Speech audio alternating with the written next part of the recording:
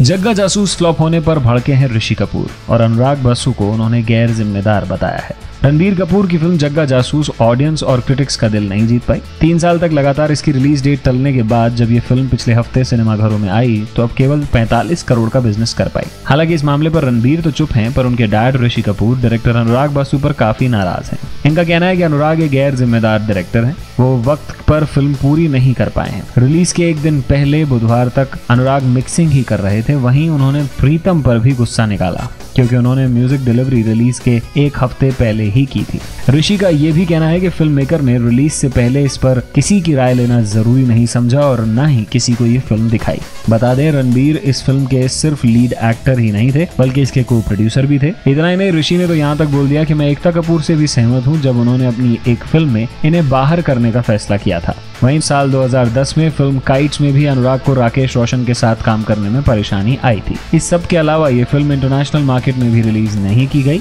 इस वजह से भी ऋषि खासे नाराज़ हैं। सिंगापुर और गल्फ में फ़िल्म सिर्फ़ इसलिए रिलीज़ नहीं की गई क्योंकि वहाँ रिलीज़ से कुछ दिन पहले ही फ़िल्म डिलीवर करनी पड़ी थी।